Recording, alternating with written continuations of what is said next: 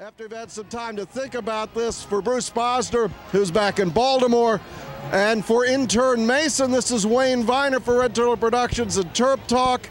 Uh, we'll probably, hopefully, see you happier maybe on Tuesday in College Park. I hear voice me.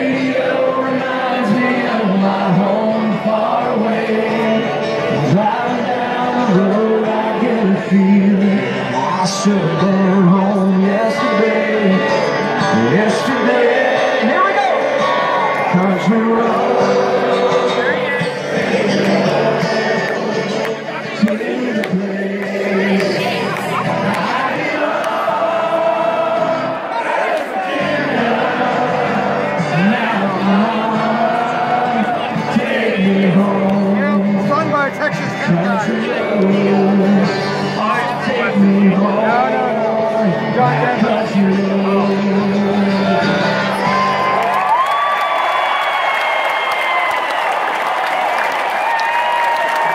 Meyer Consulting Engineers.